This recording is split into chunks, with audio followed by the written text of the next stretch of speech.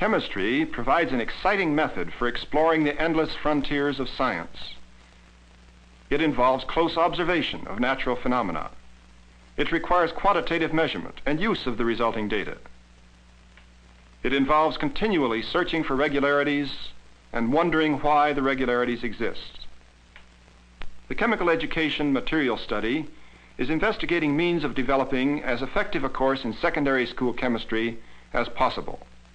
The grant funds come from the National Science Foundation to the University of California at Berkeley and Harvey Mudd College at Claremont, California. The chairman of the study is Dr. Glenn T. Seaborg, chairman of the Atomic Energy Commission. I believe that it's the quality and content of our educational system which will be the uh, critical factors in determining our future and uh, determining the outcome of the uh, crucial international struggle in which we're engaged. It is what we do in the classroom and the library and the laboratory that will be decisive in this international struggle. And it's the recognition of these facts that has led to a, a re-examination of our entire uh, educational system. And I believe that the proper place to start is in the high school. I know uh, that it was in the high school, in my own case, uh, that uh, I first became interested uh, in science. It was in my high school chemistry class, as a matter of fact. I believe we need to have improvements in other parts of our educational uh, system, in the elementary school, and even in the colleges and universities. But I think that uh, these can follow after we've made the needed improvement in the key part, the high school system. And uh, these are the reasons uh, that I, as a chemist, busy as I am, uh, undertook the chairmanship of the high school curriculum improvement study in chemistry, uh, sponsored by the National Science Foundation, known as the Chemical Education Material Study, or the CHEM study for short. And I must confess also that as the father of six children, I wanted to uh, be sure that I was doing what I could to be certain that they would have an adequate uh, course in uh, chemistry when they reach high school. for I found upon looking over the content of the typical high school chemistry course that it was simply out of touch with modern chemistry. Uh, the uh, typical course has not caught up with the modern theory and contains uh, mainly descriptive material and qualitative discussion. Uh, also, the high school chemistry course uh, in general, and unfortunately, has drawn away from the laboratory. And this is very unfortunate uh, for chemistry is basically a laboratory science. It's based upon experiment. I think that one of the most important developments is the fact that professional scientists, including university professors, are uh, working with high school teachers uh, to help them in their important task. This is a set on which we're making one of our Chem Study motion pictures, and I'm Art Campbell. We'd like to use this film to show you some of the activities of the study and some of the people involved in them. We're involved primarily in preparing materials for use in a secondary school course in chemistry. Text, laboratory manual, teacher's guide, experiments for use in lecture, some special equipment for the laboratory, monographs, motion pictures. The contributors to the text, teacher's guide, and laboratory manual are a distinguished group of chemists from industrial, university, and high school backgrounds. Here are some of their present publications. We then tried the materials in the high school. The first year trial involving 24 high schools and 1,300 students. The second year trial, 120 high schools and 13,000 students. Preliminary results from the trials are encouraging. As a result of the feedback, we undertake revisions of the materials. The editor of the text and teacher's guide is Professor George Pimentel of the University of California at Berkeley. The Chem Study course is intended for a regular high school chemistry class.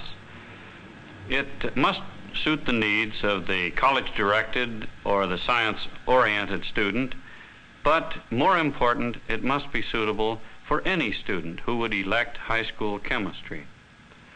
The Chem Study course has two principal points of emphasis. The first concerns chemical principles. Chemical principles occupy a central position in the Chem Study course. with the benefit of certain important unifying concepts, ideas such as the, the mole concept, the periodic table, energy and reactions, reaction rates, these ideas permit the student to grasp a vast amount of chemical information. Instead of appearing as a large number of unrelated facts, he can see chemistry as a unified, coherent uh, picture. This, then, represents one of the points of emphasis.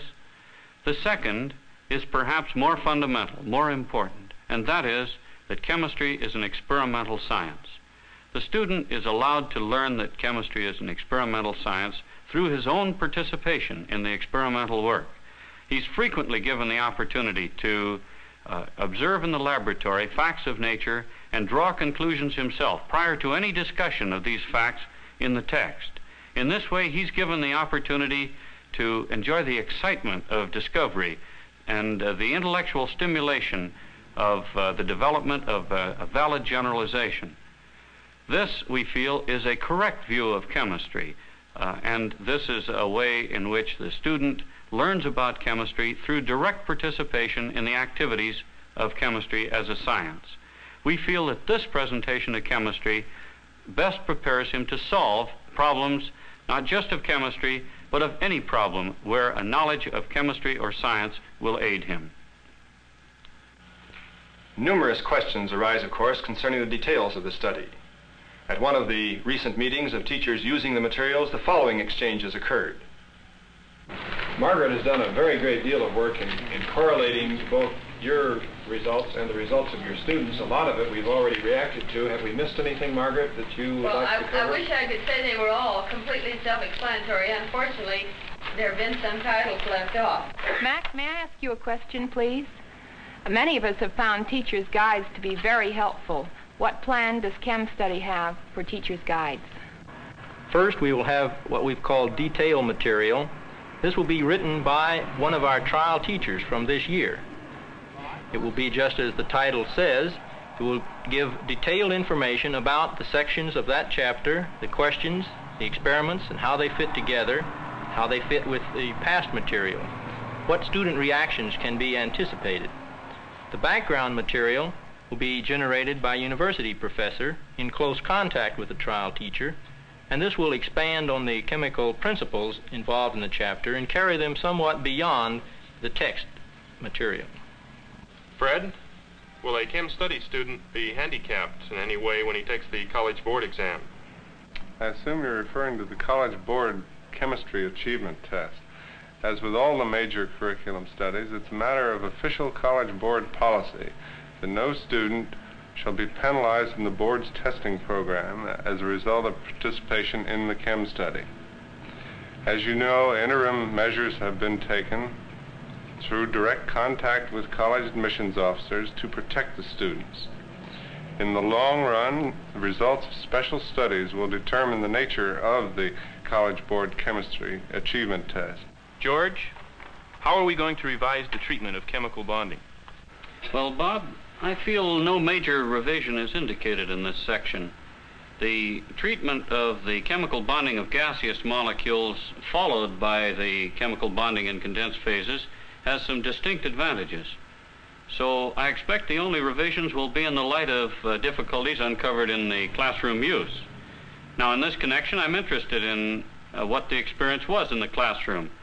Uh, for example, Saul, why don't you tell us uh, what your experience was in the New York classrooms? The uh, discussions were satisfying and uh, convincing.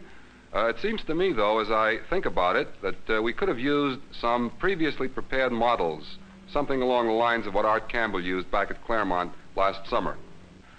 Uh, thank you. I, I wonder if there are any other suggestions. Gene? I think I would agree with uh, Saul that this section of the text, these three chapters, have gone very smoothly in the classroom. But we spent an awful lot of time in the classroom uh, lecturing and discussing these uh, chapters and this topic, and we haven't had much uh, laboratory work uh, it would be worthwhile if we could have more experiments in this section so we could continue the experimental approach in chemical bonding. Fred, I'm interested in knowing a little bit about how your team at Michigan State is going to handle the problem of gathering lecture demonstrations for our course. Well, I have a chap who's helping me by the name of Bob Brando. He happens to be an alumnus of the sci Traveling Science Teacher Program.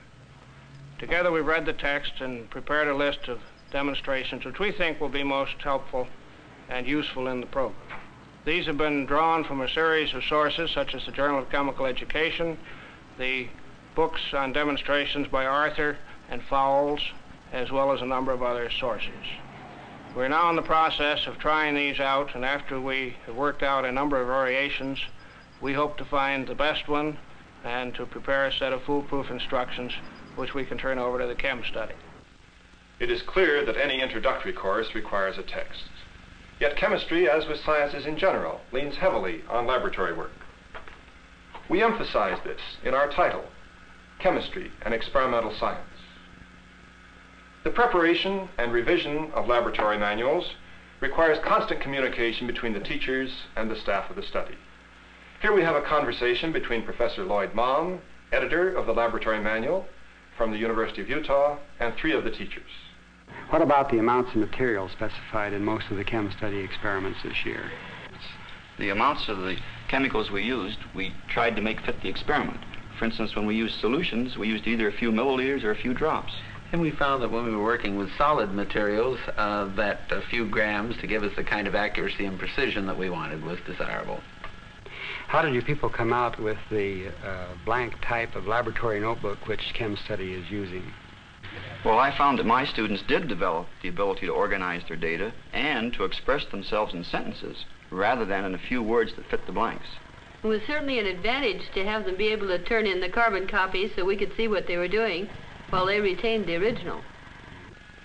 Not all questions lead to simple solutions for the study. This is particularly true in the search for the most effective method of presenting chemical concepts. Here is a group of us. Uh, Ed, we've uh, received some criticism on our presentation of uh, the chapter on oxidation reduction. Uh, Harry Sisler from University of Florida is helping us with a film on nitric acid, and you know oxidation and reduction comes in as a very important subject there. He's probably disturbed that our definition limiting it to electron exchange won't accommodate some of his reactions. That's exactly it. He feels it's too limited a definition uh, for the purposes, uh, for instance, of his discussion. Do you think well, we is need there some... a possibility that uh, we could solve this? and One of the other problems we have of often only using one possible solution when there are several alternative points of view, and here we can develop both the oxidation reduction number and, and the electron loss and gain. If well, we, we, did that sort of thing in acids and bases yes. in that chapter. Well, this would allow uh, development of the two along quite parallel lines. And make a, quite a point of the fact that there are two approaches and uh, contrast them. Is that your idea? Well, it would certainly seem possible because you have, in one case, electrons, in the other case, protons possibly lost and gained. The results of such discussions are reflected both in writing the text and producing the films. All films are under the supervision of David Ridgway, with close cooperation between Chem Study staff and the studio on scientific and production problems. What's, what's this for? Well, that's just to keep the lights off these stopcocks. You see, although this is high temperature grease, we prefer not to take a chance that oh, it warms up and flows so the stopcocks won't leak. During during the scene, we won't have oh, to no, rim. no, this is just while we're uh, doing these preliminary I activities. see. Then, when I crimp the, the tube, the pump is off, the entire system is connected. And at that point, you drop this and warm this, and bromine then will be introduced to the entire system at the same pressure. How do students of different ability perform in the chem study course? In order to find out, we have had each student take the SCAT test. The results of the test are given on this chart. On the right-hand side, we have the performance of a typical group of high school students in, in the United States on SCAT tests. In the left-hand chart, the performance of the chem study students in one year of the trial. It is clear that almost all of our students are well above the national median. On the other hand, we have had groups in the lower section, as you can see. The middle bar on the chart represents the central 50% of the class. The upper and lower lines represent the next 20% above and the next 20% below the middle group. The uppermost 5% and the lowermost 5% are not shown on the chart. In addition, we have had classes where the median on the chem study tests, as shown by the aptitude, was in the 31st percentile nationally. Of course, we've had more groups in which the median has been in the 95th percentile nationally. And yet, since many schools have used our materials on all students in their courses taking chemistry, we have a good representation of how an average student can respond to chem study materials. There is as yet no evidence that they have any more difficulty with our course than they would with a conventional chemistry course. Chemistry can be taught in many ways. It can be taught as CBA is doing it with emphasis on chemical bonds. It can be done as Chem Study is doing it. It can be done as many local groups are doing it. Regardless of how it is done, different things are noticed. Let us, for example, compare the correlation between the performance on our own tests with the performance on SCAT tests as shown in this chart. Here we have two representations, the performance on our first test and the performance on our fourth test. The first test, you will notice there are four columns on the chart. The left-hand column represents those who on the SCAT test were in the upper 90th percentile. The next column, those between the 90th and 75th percentile. The third column, those below the 75th percentile on SCAT test. The final column, the total group. We, we see here then that those who did quite well on the SCAT test are spread out considerably on the chem study tests. Those who were in the middle on the SCAT test are somewhat lower, and those who were very low on the SCAT test are lower still. Yet notice the large degree of overlap between the three groups. This means there is a relatively small correlation between performance on SCAT test and performance on chem study tests. Furthermore, if we now compare the last chem study test with the first, we see the correlation is even worse. There is a very large overlap between those who presumably had low aptitude and those of highest aptitude, as represented by their performance on our own test. The medians are still in the expected order, but the overlap has become quite remarkable. Indeed, roughly 10% of the students in the lowest group are now above the median of those who should have been in the highest group based on their presumed aptitude. We feel that an experimental approach and an approach which emphasizes the use of concepts by the students, concepts which they have reached primarily from observing and doing experiments themselves, has real merit. It is this emphasis on the experimental approach by the student in the laboratory and by developing his own concepts and using them that is the basis of the chem study course.